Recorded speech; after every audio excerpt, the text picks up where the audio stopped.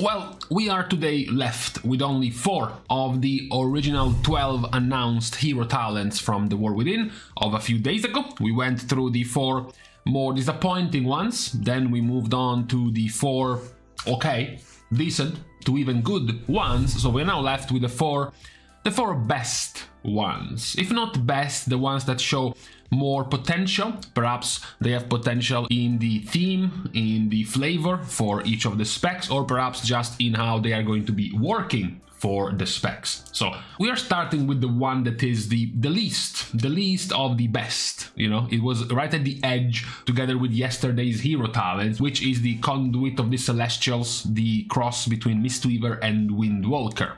Now this one, to have a TLDR, is basically the fist weaving melee healing tree of Mistweaver.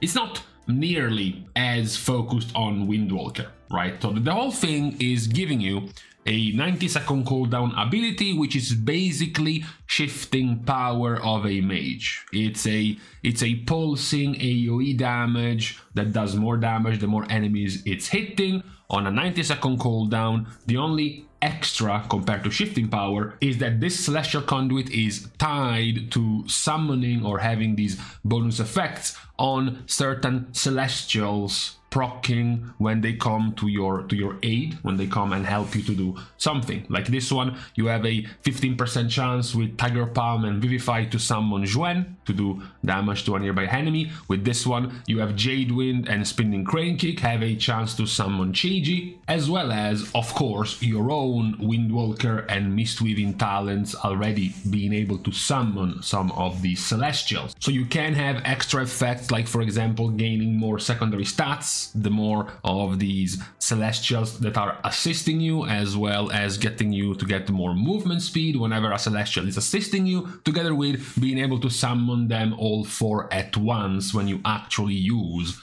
your 90 second cooldown. As mentioned, many of these effects have primarily a more a mistweaving monk focused uh, effect because you buff the damage as well as the healing of quite a few of your abilities. You have effects like Xuen's guidance making your teaching of the monastery have a 15% chance to refund a charge on top of getting even more damage with Tiger Palm. So you have a series of effects benefiting more a Mistweaver Monk. So obviously also this would benefit the Mistweaver Monk more in Mythic Plus more so than the raid, since that's where, generally speaking, your fist weaving style of healing is focused on when you play Mistweaver, but also for Windwalker is just basically a flat out extra cooldown to play around. And you know, when you play a DPS, when you play a DPS, having an extra AoE cooldown on a 90 second cooldown, it's always pretty handy, especially in, in Mythic Plus to time with more with more powerful trash packs. So it's overall a pretty good set of talents for the crossover between Mistweaver and Windwalker, which is sometimes hard because you're mixing a healer with a DPS, so maybe it's hard to make it uh, satisfying for both, but at least in this case it has turned out, especially when you can compare it with the previous version, the cross between Windwalker and Brewmaster, this one has come out more more fleshed out more more thematic also playing around your celestials which already can be summoned from your normal talent trees. So you have further synergy there. So overall it's a pretty good it, it's a pretty good set of talents for these two specs. The next one in line is a crossover between Arms and Fury Warrior, Slayer, starting with Blizzard's point that in the War Within, Fury Warriors will also have access to Bladestorm. That's of course a necessary point to make before going over this talent tree because this talent tree has a lot of a lot of points around Bladestorm. And the first point points this out by having more stacking damage with Execute, which is interesting, or rather, hopefully, is going to be better for Fury, since Execute nowadays is a more staple of arms damage, more so than Fury. Very good path down the self-sustain line, where you get to have more chances of making sudden death even better with more resets of Execute, and on top of that, now you heal for 50% of the damage you are doing when Sudden Death has procced, with even more further stacking damage extra on your execute. But the real, you know, the real point is this cycle, this cycle with Unrelenting Onslaught, when you execute a target that you have marked for death, which is your original default starting point, your attacks having an RNG chance to apply Mark for execution on the target. When you execute the target, you reduce the cooldown of Blade Storm by 5 seconds per stack of marked for execution, and apply stacks of Overwhelmed equal to the number of stacks of Mark of Execution. This stacks up 3 times. So the TLDR is that when you trigger a Slayer Strike applying Mark for Execution, once you have done this 3 times, and then you execute, your Blade Storm has a 15 second reduced cooldown. And you gain and you gain as many stacks of Overwhelmed as the stacks you consumed, Overwhelm making the target take more damage. So it's a constant loop of your attacks applying this mark and then your execute consumes the mark to reduce the cooldown of Blade Storm and then once you actually use those marks the target will take more damage. You also have some cool, interesting effects like Frantic Flurry, which has your Overpower and Bloodthirst have a chance to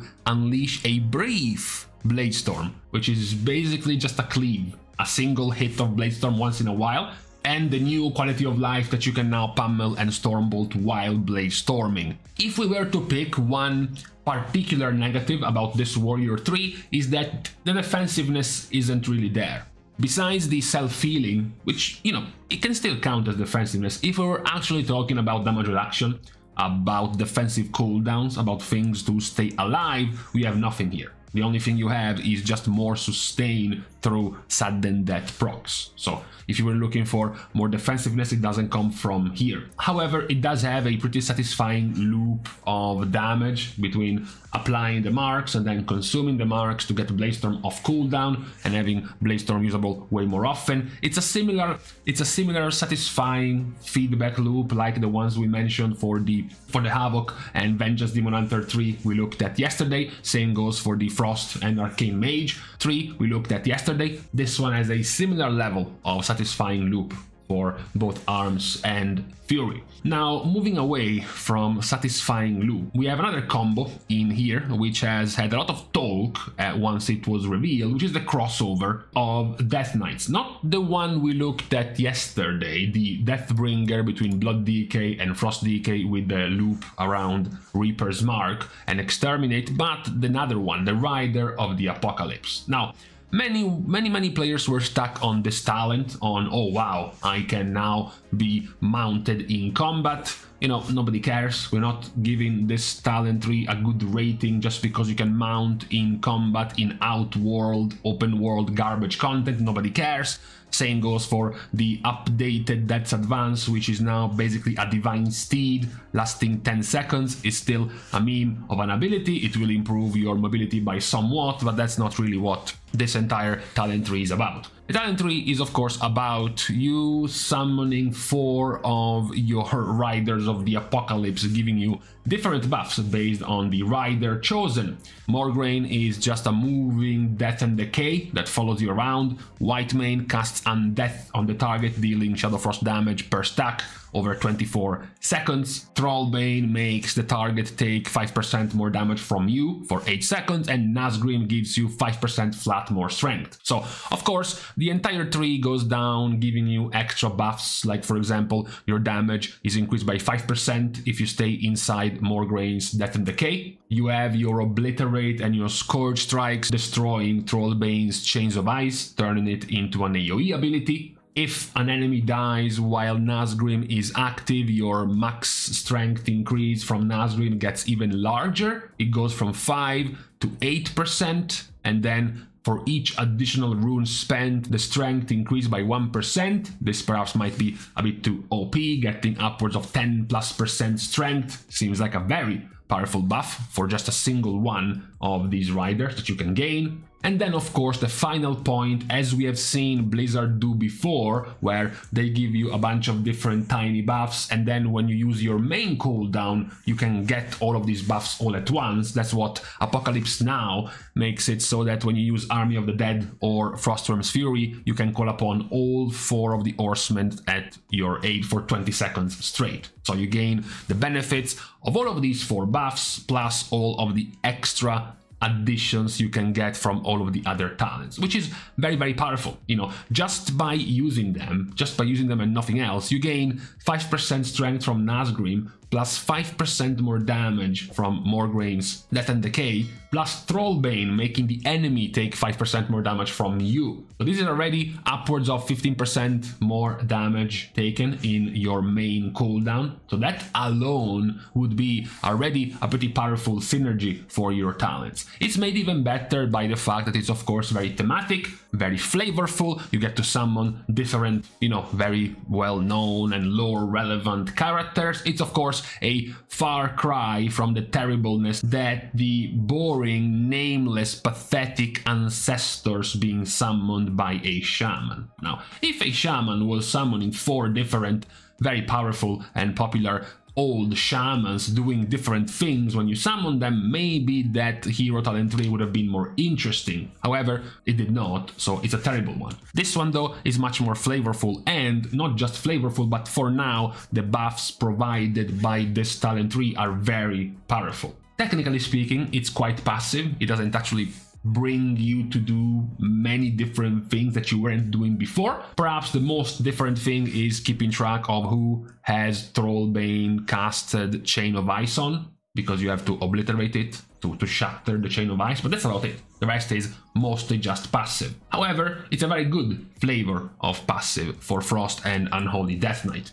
Now we have left the more experimental for last, because the last one is Flame Shaper, which is the cross between Devastation and Preservation. Now, we praised already the cross actually between all of these specs, because Preservation crossing with Augmentation had some very powerful buffs and some insane defensive powers, which were likely going to be nerfed definitely before the release of the expansion. And then also we praised the cross between Devastation and Augmentation, because there was the fear that a pure DPS spec like Devastation being crossed with Augmentation would have given them a bunch of support, beta, cac talents about buffing other players when you want to be the Chad DPS as a Devastation Evoker. And luckily, the cross between Dev and Aug actually was quite more focused on damage, on flat out more damage for Devastation, which is cool. Now, this one though is a cross between a pure DPS like Devastation and a pure healer like Preservation.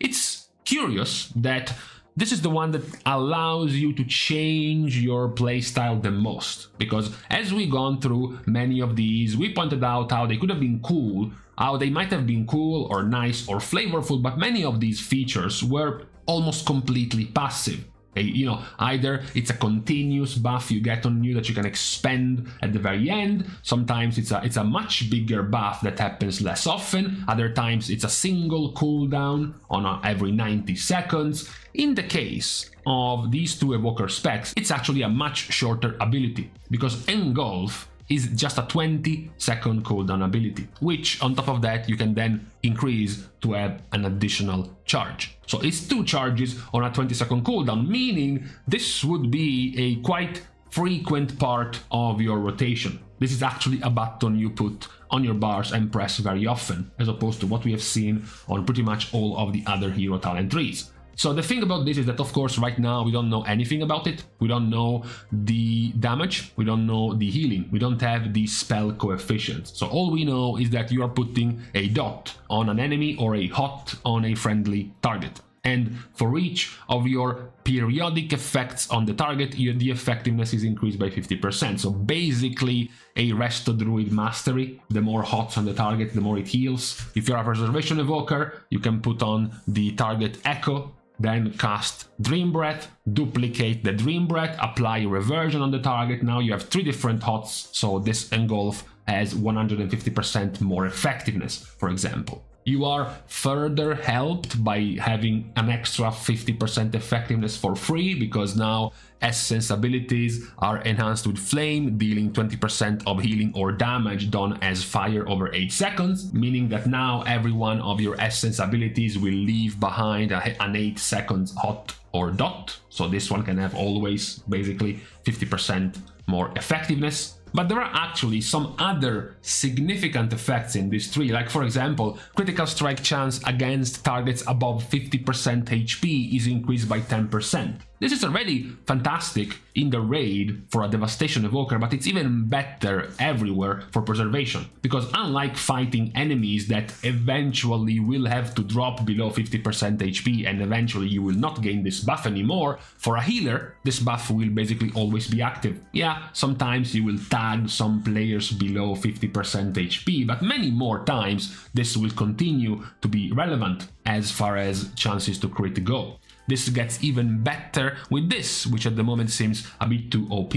Living Flame, Reversion and Azure Strike critical strikes have a guaranteed chance to trigger Essence Burst. Essence Burst makes your spenders free. This seems quite OP, especially of course for a Preservation Evoker. A Preservation Evoker that of course can spread echoes to 10 different targets and then use Reversion and then cast 10 Reversions. As long as you have a couple of those crit, you now get two free Essence Burst charges just off of this talent alone. There is also a pretty interesting mechanic that could be extremely powerful if only it was targeted, which is Life Cinder's Renewing Blaze also applies to one nearby injured ally when you cast it. Renewing Blaze is an, is an extremely powerful and underappreciated defensive cooldown for your, for your spec, provided you can stay alive throughout the duration of it. So if you don't get one shot, if you don't get two shot, if the damage you're about to take isn't massive, but it is a slow over time, but very dangerous type of rot over time damage, this talent alone can almost deal with the damage by itself. Now, the fact that you can cast it on someone else now as a not just a healer, but even as a devastation evoker, it can be quite helpful. Unfortunately, it's completely RNG. So obviously, as a preservation evoker, you would like to have casted this on your balanced druid in your group, on your hunter, on your shaman, on your group, because they are made of paper, and instead it just flies off and tags the tank. It flies off and tags the warlock. You know, those are less favorable targets to be using this one, but it's still cool that it can work and it can have a pretty powerful effect. The final point of this, which is the more interesting one, that leaves up for even more playmaking, I guess, Engulf consumes 8 seconds of fire breath from the target, or Dream Breath, of course, detonating it and dealing damage or healing all nearby targets equal to 300% of the amount consumed, reduced beyond 5 targets. So it's an extra AoE effect for both devastation and preservation. Remember, we now have two charges of engulf, so you can essentially do engulf and then consume it, and then engulf your second charge and then consume it again. For example, maybe we don't know precisely, maybe you can cast two engulfs on the same target and double detonate it. Maybe engulf works with echo for Preservation Evoker, so you can now spread Engulf to 10 different targets. We don't know yet, we only have the tooltips, but just from the descriptions alone, many of these new tools for both Devastation and Preservation are very good. From the new abilities, the new dot, the new hot for you, plus the explosion of the dot, the extra cool things like the crit and the guaranteed crits to give you Essence Burst, which will also interact with your rotation so you don't just get a new button, you get something that can also give you other ways to play your rotation. Something cool, added utility with things like Life Cinders. If we had to find the bad of this hero talent is the defensiveness, is the tankiness, is the survival part of this one. Because this one doesn't actually have much of any survival or defensiveness. We have pointed out, of course, Life Cinder, but that's just giving Renewing Blaze to someone else, not to you. You don't get more tanky because of it. And even the opposite, if you want to be selfish and not take Life Cinders, Draconic Instincts give you a small chance to cauterize, so a small chance to heal you for 30% of the damage you took. That's completely RNG. It's not, it's not something you can rely on when a big boss hit is about to kill you and you want to hope to stay alive. This is not really gonna do anything. So as a an already reasonably squishy spec, you might have expected something more tanky, especially with the cross between dev and press since augmentation is more tanky by itself, maybe in here is where we could have found something extra for the for the survival of these two specs, which is not coming. Funnily enough, the, the strongest of the survival combo is between preservation and augmentation, and not really between these two. But overall, as a combo, this is very powerful for both devastation and preservation, and definitely the one that can change your playstyle, your rotation, your buttons to press in your gameplay the most out of the hero talent trees we have seen so far. So at least deserve some praises just off of that. These were all of our previewed by Blizzard hero talent trees added a few days ago, all 12 of them. We have made a random eye test ranking of the hero talent trees given their first iteration so far, and this is what we have gotten in the end. So with this pointed out, of course, you guys are free to show your own takes on what did you think were your favorite of your hero talents that you have seen from the latest release of hero talents from Blizzard? Besides this, I'm going to leave you to the rest of the beginning of your week on this Monday. Thanks, of course, as usual, to all of the Patreon supporters for the contribution and the help to the growth of the channel, which can Breather, as usual, be given completely for free by liking and commenting down below, as well as subscribing to the channel itself. Now, with these pointless things out of the way, thank you guys again for watching, see you guys tomorrow, and in the meantime, fuck, I started losing my voice and my breath at the very end of the video. Luckily we made it.